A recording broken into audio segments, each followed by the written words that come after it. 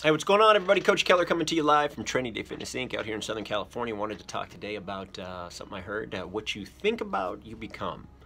Okay, what you think about, you become. What you let into your mind on a daily basis, whether it's positive, negative, or, or the other, you're basically going to start to adapt to, to that mentality, right? Um, um, I'm not a big believer that just because you play a violent video game, you're going to be violent. But I will say this, man, it seems that people become a lot less um, concerned about it. You know, maybe numb to it. You hear that term thrown around.